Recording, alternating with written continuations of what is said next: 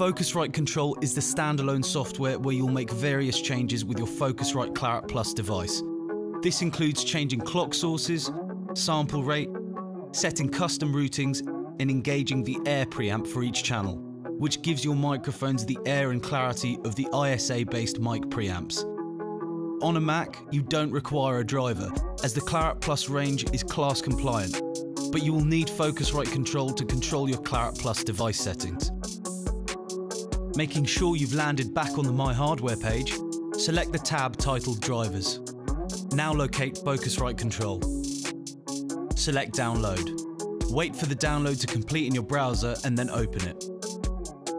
Double-click the downloader Focusrite Control PKG. Follow the instructions on screen and then select Install. You have now successfully installed Focusrite Control.